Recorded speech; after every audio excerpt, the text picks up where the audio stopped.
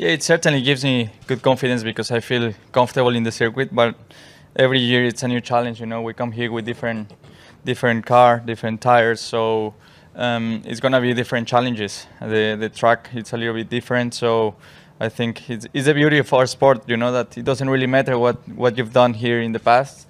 Every year it's a new challenge. So yeah, I certainly enjoy a lot the circuit. I think it's a great challenge for all for all the drivers, especially on Saturday in qualifying.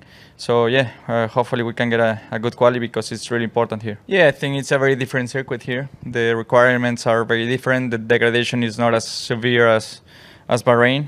Um, we certainly believe that Ferrari is going to be pretty strong um, around this place. So certainly Aston's Mercedes are going to be um, a lot closer to us because uh, the requirements are very different here and I think looking after the tires, I think we got we got it right in in in Bahrain. I think few teams probably didn't optimize their their cars or their strategy with the tires as much as, as we were able to do. So, but here is is just very different, you know, because here the requirements are extremely different.